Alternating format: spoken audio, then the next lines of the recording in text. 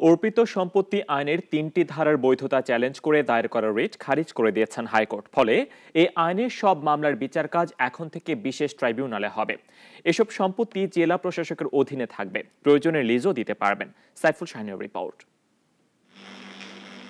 উনিশশো পঁয়ষট্টি সালে ভারত পাকিস্তান যুদ্ধের সময় যারা এদেশ থেকে পালিয়ে ভারতে যায়, তাদের সম্পত্তিকে শত্রু সম্পত্তি ঘোষণা করে তৎকালীন সরকার। পরে উনিশশো চুয়াত্তর সালে সেসব সম্পত্তিকে অর্পিত সম্পত্তি করা হয়। অর্পিত সম্পত্তি নিয়ে প্রথম আইন হয় দুই হাজার এক সালে, যা কার্যকর হয় দু হাজার বারো সালে। সরকারের এই আইনের উদ্দেশ্য ছিল প্রকৃত মালিকদের জমি ফেরত দেয়া, কিন্তু এর আগেই অর্পিত সম্পত্তি নিয়ে লাখ লাখ মামলা হয়। দু হাজার বারো সালে চট্টগ্রামের দুই ব্যক্তি গেজেট হওয়ার আগেই তাদের অর্পিত সম্পত্তি বিচারধীন ছিল দাবি করে হাইকোর্টে রিট করেন। সেই সঙ্গে জেলা প্রশাসকরা অর্পিত সম্পত্তি লিজ দিতে পারবে কিনা তা নিয়েও একটি রিট হয়।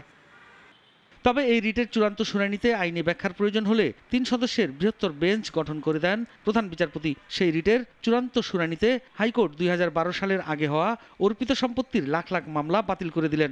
বলবৎ হয় দুই হাজার বারো সালের আইনের ধারাটি।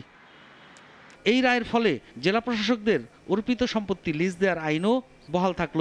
রিটকারীর আইনজীবী বলছেন, তারা আপিল করবেন।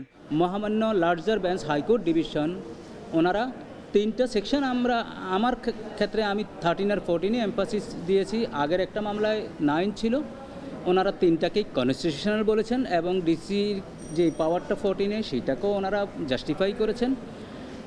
আমরা এই জাজমেন্টের মাধ্যমে আমার ক্লায়েন্ট ক্ষতিগ্রস্ত হয়েছে, এতটুকুই আমি বলতে পারি। দু হাজার এক সালে আওয়ামী লীগ অর্পিত সম্পত্তি আইন করলেও তা স্থগিত করে বিএনপি সরকার। পরে আবার ক্ষমতায় ফিরে তা পুনর্বহাল করে বর্তমান সরকার। সাইফুল শাহিন, নাগরিক, ঢাকা।